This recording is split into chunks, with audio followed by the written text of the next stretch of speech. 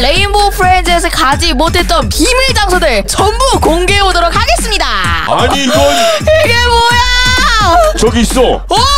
어 사원장입니다 여러분. 이쪽으로. 우와. 와 대박. 대박이다. 여기 봐봐. 와! 여러분 학교 안으로 들어 들어올 수 있어요 학교 안으로. 와 대박! 오빠. 야 그, 학교 안에 교실이 없고 레인보우야. 레드다. 레드 흑화됐어 여러분. 다음 챕터에 나올 미스테리 캐릭터래 얘가. 아니 터널이 있어. 전화 와. 터널 가면 챕터 2가? 아려랑